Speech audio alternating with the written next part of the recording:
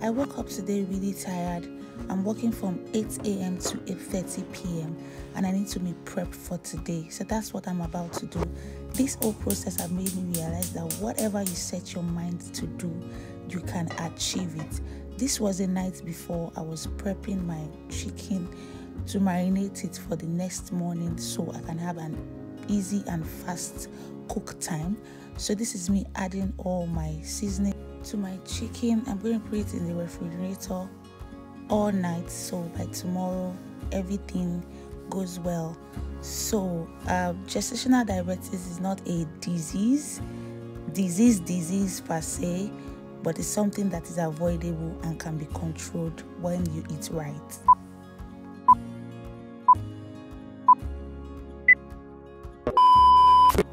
The first thing I do in the morning is to take my readings and that's what I'm doing here. I do this every morning since the day I've been given this, and I try as much as I can to eat right because I really do not like to take medication or to be sick or the thought of me having one illness in my body will break me. So I need to do everything that is possible to make sure that this ends with the pregnancy. A lot of things happens during pregnancy. For some people, they have gestational diabetes. For some people, they have gestational hypertension. Different things that women go through. It's a lot and a lot more stuff that people go through. But I'm glad that this was seen on time and I can control it. So here I am. I've taken my readings. Then I'm meal prepping for the day.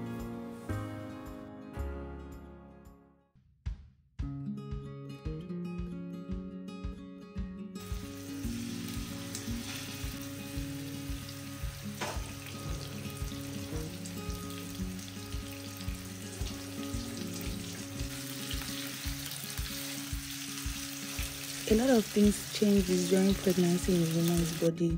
Let's take for example, for someone that had a normal blood pressure, then suddenly during pregnancy you discover that you have gestational hypertension, and this gestational hypertension is diagnosed when uh, one has high blood pressure reading from 140 90 for a woman that had a normal blood pressure prior to 20 weeks. And imagine when they say some people have um, preeclampsia, which is diagnosed when a woman with gestational hypertension also has increased urine, uh, increased protein in their urine. On the other hand, you hear the doctors say this is normal in pregnancy. For gestational diabetes, it's a type of diabetes that can be developed during pregnancy in women who don't already have diabetes. You just be shocked. You go to the hospital, they'll tell you you have gestational this, you have gestational that, and you'll be like, what's all this? But one good thing about all this is that if managed well, it goes away immediately you give birth, or even before you give birth, if you comply with eating right and doing what you're asked to do before you give birth, it's gone. You don't have them anymore. But it, it takes a lot from a woman to go through this journey. Like it takes a whole lot. Some of us have it very easy, no issues, no health issues, no high risk pregnancy, and all of that. But a lot of people do not take it easy. There are other conditions that some women go through, other severe conditions that they go through during pregnancy. But at the end of the day, we just trust and believe God that it's going to be smooth. We're going to give birth and have healthy babies, and mom and child will be alive and all of that. Or it's a lot. It's a lot. I won't even lie. This face is just one very. I don't have a word to describe it, but for everyone that is pregnant, well done. The Lord is your strength. For those looking up to God for the fruit of the womb, God will answer your prayer and give you exactly what you're praying for, whether twins, whether a boy, whether a girl. In Jesus' name, Amen.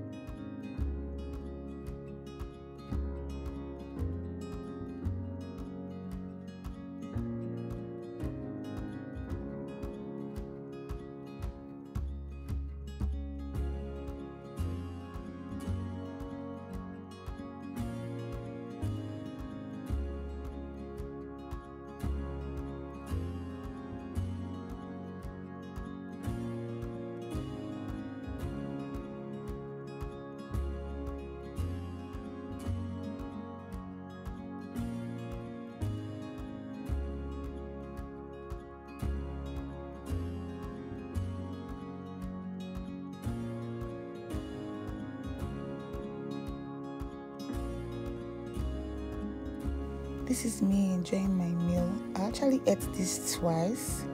I didn't finish it at this first time. I ate it twice. So I'm going to show you my reading for today. Like this is my reading. You can see that my fasting is still high, it's still 5.4, but others are okay. But it got better. It got really, really better after this. And I'm going to also share screenshots with you to see that whatever it is that you set your mind to do is achievable. And I was so glad at the end of the day when I went to see my midwife and she told me, Congratulations, your sugar is now okay, but still keep eating right till you give birth.